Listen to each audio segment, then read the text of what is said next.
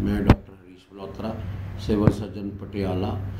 ਅੱਜ 24 ਅਪ੍ਰੈਲ ਨੂੰ ਦੱਸਣਾ ਚਾਹੁੰਦਾ ਕਿ ਜਿਹੜੇ ਕੱਲ 58 ਸੈਂਪਲਸ ਰਾਜਪੁਰਾ ਤੋਂ ਲਏ ਗਏ ਸੀ, ਉਹਨਾਂ ਚੋਂ ਸਿਰਫ 6 ਹੀ ਪੋਜ਼ਿਟਿਵ ਆਏ ਨੇ।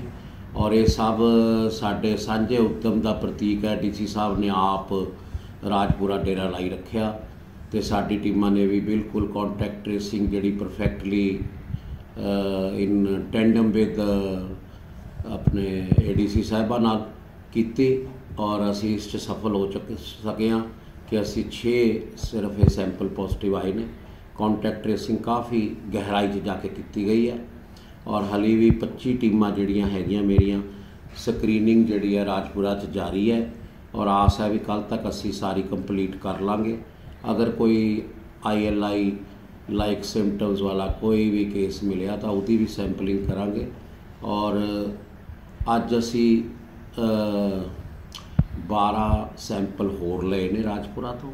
ਉਹਨਾਂ ਦੀ ਰਿਜ਼ਲਟ ਕੱਲ ਆਏਗਾ ਔਰ ਮੇਰੀ ਜਨਤਾ ਨੂੰ ਅਪੀਲ ਹੈ ਕਿ ਜਿਹੜਾ ਕੰਟੇਨਮੈਂਟ ਏਰੀਆ ਵਾਇਲੇਟ ਨਾ ਕਰੋ ਬੇਲੋੜੀ ਮੂਵਮੈਂਟ ਨਾ ਕਰੋ ਸੋਸ਼ਲ ਡਿਸਟੈਂਸਿੰਗ ਮੇਨਟੇਨ ਕਰੋ ਔਰ ਜਿਹੜਾ ਬਫਰ ਜ਼ੋਨ ਡੀ ਸਾਹਿਬ ਨੇ ਬਣਾਇਆ ਹੈ ਉਸ 'ਚ ਵੀ ਕਿਰਪਾ ਕਰਕੇ ਬੇਲੋੜੀ ਮੂਵਮੈਂਟਸ ਨਾ ਕਰੋ। ਸਰਕਾਰ ਤੁਹਾਡੇ ਫਾਇਦੇ ਲਈ ਹਰ ਪੱਗ ਉਠਾ ਰਹੀ ਹੈ।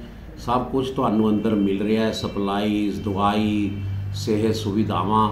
ਕਿਰਪਾ ਕਰਕੇ ਕੋਆਪਰੇਟ ਕਰੋ, ਇਹ ਤੁਹਾਡੇ ਹੀ ਫਾਇਦੇ ਦੀ ਗੱਲ ਹੈ, ਤਾਂ ਕਿ ਆਪਾਂ ਜਲਦੀ ਤੋਂ ਜਲਦੀ ਇਸ ਤੋਂ ਕੋਵਿਡ 19 ਤੋਂ ਨਿਜਾਤ ਪਾ ਸਕੀਏ।